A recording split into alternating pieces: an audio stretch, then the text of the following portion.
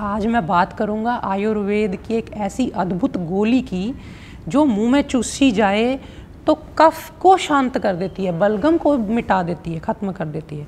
वही गोली जब पच करके पेट में पहुँच जाती है तो वात को शांत कर देती है। वात रोगों को, पेट दर्द, गैस, अफारा उनको शांत कर देती है।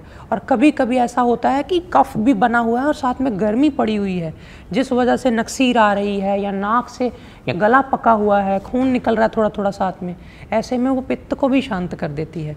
तीनों को एक साथ बड़े अच्छे ढंग से मैनेज कर लेती है।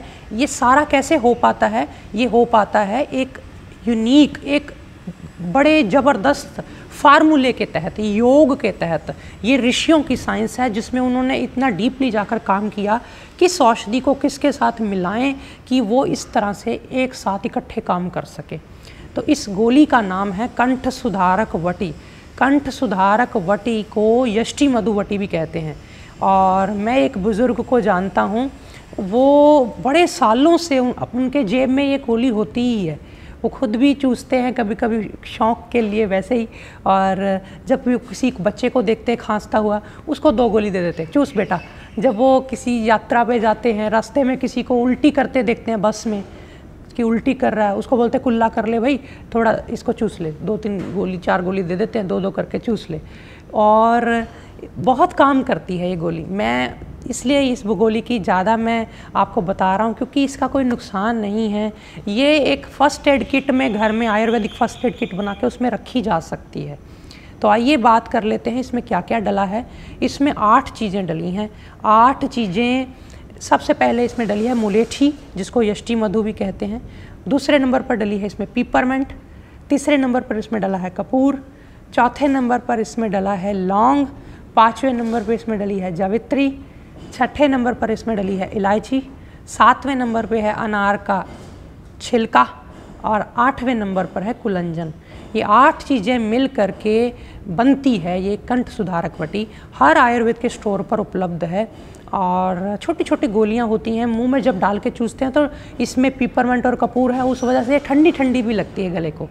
तो गले में जब आप चूसते हैं, कितनी गोली चूसनी होती है? बच्चे को एक एक गोली दिन में पाँच छः बार और बड़े व्यक्ति दो दो गोली दिन में पाँच छः बार चूस लें और गर्म पानी से या वैसे गला साफ़ करके फिर उसके बाद चूसें। चूस के फिर ऊपर से कुछ खा ना लें क्योंकि गले में लगी रहे। तो जब गले में चूसते हैं तो गले की बलगम खिंच खिंच थोड़ा रेशा सा हल्का फुल्का खराश रहना हर वक्त ज़रा सा कुछ दही खाया या कुछ खाया गला ख़राब हो जाना ये उसमें काम आ जाती है।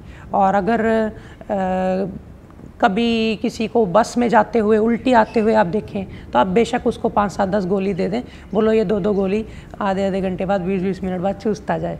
तो वो उसको उस वक्त के लिए आराम आ जाएगा। इसी तरह अगर वो पच के जब मैंने आपको बोला था पेट में जाती है तो पेट के अंदर अफारा ठीक कर देगी। और गैस बनी हुई है। भूख नहीं लगती।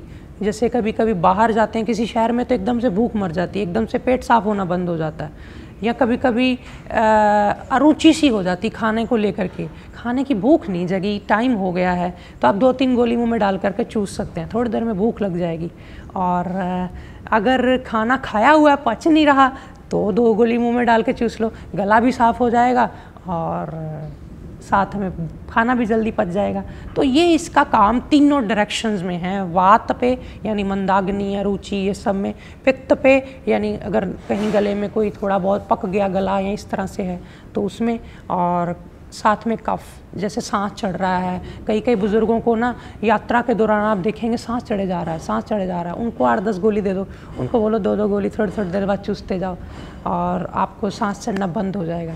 ये एक तरह से फ़र्स्ट एड का काम भी कर जाएगी और कई कई बार छोटी समस्या रहे तो अपने आप अकेली ही हल भी कर लेती है। ज़्यादा, बहुत ज़्यादा कफ दोष, कफ रोग बड़ा हुआ हो तो उसको शांत करने के लिए, थोड़ा निकालने के लिए शरीर से कुंजल करवानी पड़ती है या कुछ अन्य औषधियाँ, लक्ष्मी विलास रस, या कफ केतु रस या टंकन भस्म, शहद, अदरक, ये सब चीज़ें देनी पड़ सकती हैं। लेकिन अगर थोड़ी बहुत समस्या है तो फ़र्स्ट एड के तौर पे एक ही गोली बहुत है।